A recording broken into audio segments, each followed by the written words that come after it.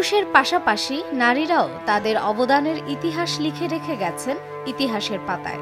শত বাধা বিপত্তি পেরিয়ে সৃষ্টি করে নিয়েছেন নিজেদের অবস্থান। এরকমই একজন হচ্ছেন বিশ্বের প্রথম নারী pilot Amelia Mary Earhart.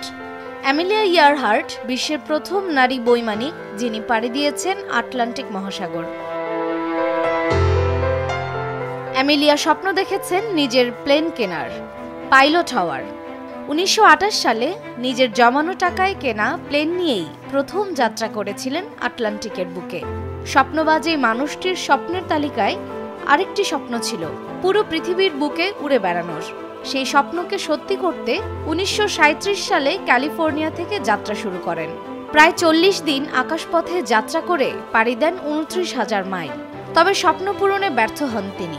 আকাশপথেই রহস্যজনকভাবে নিখোঁজ হয়ে যান। আজ পর্যন্ত তার কোনো সন্ধান মেলেনি। বাস্তব জীবনে তিনি ছিলেন একজন প্রাণবন্ত মানুষ। মানুষের প্রতি ছিল পরম মায়া। প্রথম বিশ্বযুদ্ধে কানাডার হাসপাতালের আহতদের সেবা করেছেন তিনি।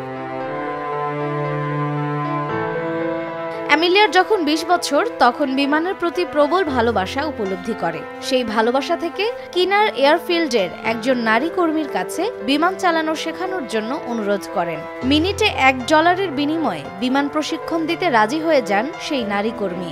শুরু হয় বিমান চালানোর প্রশিক্ষণ। প্রশিক্ষণের মূল্য পরিশোধের জন্য অ্যামেলিয়া ইয়ারহার্টকে করতে হয়েছে অক্লান্ত পরিশ্রম। অর্থ সঞ্চয়ের স্বার্থে করেছেন ছোটখাটো চাকরি। মাইলের পর মাইল হেঁটে আসা যাওয়া করেছেন প্রশিক্ষণ কেন্দ্রে। ছোটবেলা থেকেই অ্যামেলিয়া ইয়ারহার্টের মধ্যে মেয়েলি ভাব একটু কম ছিল। মা চাইতেন তার মেয়ে একটু মেয়ে সুলভ আচরণ করবে।